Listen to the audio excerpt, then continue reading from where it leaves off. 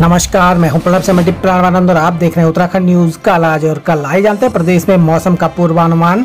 मौसम विज्ञान केंद्र देहरादून द्वारा जारी मौसम पूर्वानुमान के अनुसार 13 अगस्त 2022 को उत्तराखंड राज्य के पर्वतीय क्षेत्रों में कहीं कहीं तीव्र बौछार के साथ पर्वतीय क्षेत्रों के कुछ स्थानों में हल्की से मध्यम वर्षा या गर्जन के साथ वर्षा हो सकती है।